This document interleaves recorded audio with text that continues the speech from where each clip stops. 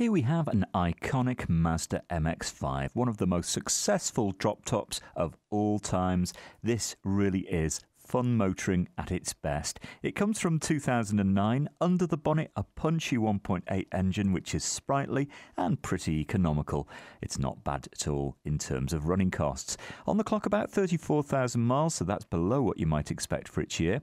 You've got a manual roof, but it's a one-handed action to get that down, no problem at all. And a very smart cockpit. You've got cloth seats which are really comfortable and everything's there for you like power assisted steering, a CD player remote central locking. 0 to 60 in about 9.5 seconds, but you can expect around 40 to 49 miles per gallon. Six months tax, £107.